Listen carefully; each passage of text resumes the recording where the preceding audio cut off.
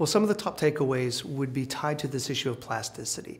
Uh, primarily, the issue of plasticity plays itself out in young people in the world of vulnerability. So, with neurologically where they are at in their point in life, they've got these two roads this high road that is tied to uh, issues related to, you know, what are the cues that I should become aroused by? What's the meaning of sex? That's this cortical road. And that can be thrown off very easily by pornography.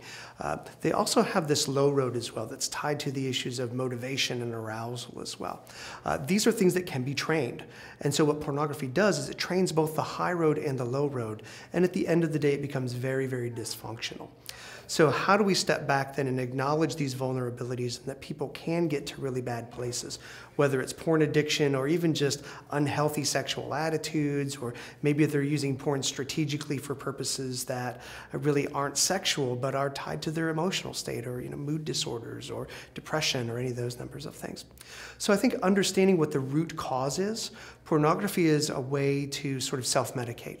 And you can self medicate for a lot of different reasons. That's the nice thing about pornography, if you want to even think about it that way, is it's like a poly drug. It can be used to treat a lot of different things.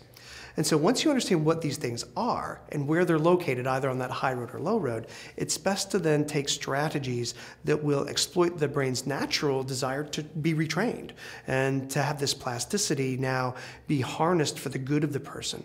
The issue is not getting rid of all of your memories. What you want is those memories to not have power over you in the moment and actually to be developing a new way of thinking about yourself sexually we think about how people are trained, young people, old people today, uh, uh, as, as pornosexuals. That really they're, they're not even concerned about men and women anymore. It's the pornography that is what arouses them. The thought of going and viewing porn is what arouses them. And can we change the language to get them back to being something that's a little more in lines with I would, what I'd argue is God's plan? For me, that means being donosexual. That means making choices, you know, building my world in such a way to take advantage of all of these, these riches that I have neurologically to make me drawn into my wife. At some point, I kind of stopped even having to make the choices. Much like the addict sort of loses their ability to make choices, I've lost that ability. But that's a very different type of addiction. I'm addicted to my wife, I'm sexually oriented towards my wife. That has fidelity to the gospel of Christ that's very, very different. And I think is kind of a, a just a different way of talking about sexuality that maybe will inspire people rather than discourage encourage them.